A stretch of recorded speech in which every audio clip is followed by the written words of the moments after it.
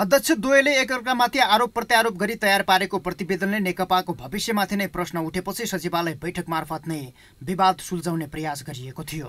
तर मङ्गलबारको सचिवालय बैठकमा समेत अध्यक्ष द्वयबीच एकअर्काको प्रस्तावलाई लिएर चर्काचर्की भएको छ।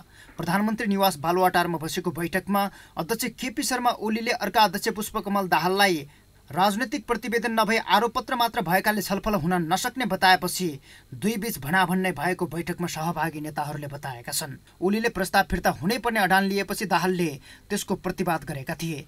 ओलीले सीमा र मर्यादामा रहन भन्दै रुलिङ गर्ने प्रयास गरेपछि दाहाल झनै खरो रूपमा प्रस्तुत भएका थिए। तर बैठकपछि प्रवक्ता नारायण काजी श्रेष्ठले भने दुई अध्यक्षको प्रस्तावमाथि छलफल सुरु भएको प्रतिक्रिया दिए।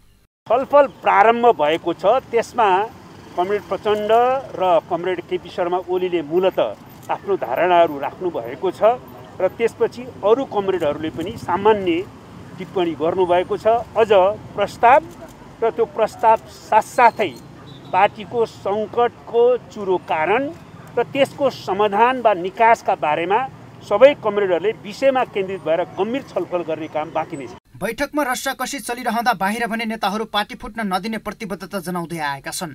अध्यक्ष द्वय आरोप प्रत्यारोपमा लागिरहँदा विश्लेषकहरू भने मिल्नु बाहेकको अन्य विकल्प नरहेको बताउँछन्। अहिलेसम्म जुन आरोप प्रत्यारोप भयो जुन तिक्तता व्यक्त भयो त्यो कुरोलाई चाहिँ टेबलमा राखौँ फर्काएर राखौँ कि। यसरी पढ्नेदेखि नै गरेर होइन फर्काएर राखौँ। र अब चाहिँ हामीले के के कुरा चाहिँ मा सहयात्रा गर्न सक्छौँ सहकार्य गर्न सक्छौँ होइन? तपाईँका के के बानी खराब हुन् मेरा के के बानी खराब हुन् अरूले छलफल गर्नु सल्लाह गर्नु अरूले उठाउन् होइन? त्यही बमोजिम अगाडि जाउँ। नभनिकन विकल्प छैन होइन भने यी दुईवटा नेता आफ्नै पार्टीबाट चाहिँ तपाईँको चाहिँ धपाइनु सक्छन्। बढ्दो विवाद बीच नेकपाका नेताहरूले औपचारिकसँगै अनौपचारिक छलफल पनि जारी राख्ने भन्दै बुधबारका लागि पुनः बैठक तय गरेका छन्। तर सहमतीय तरिकाले अघि बढ्नुपर्ने अध्यक्ष द्वय बीच आरोप प्रत्यारोप चलिरहँदा नेकपाको विवाद सहजै मत्थर हुने अवस्था देखिँदैन। यो हो टेलिभिजनका लागि सन्तोष विके थापा काठमाडौँ।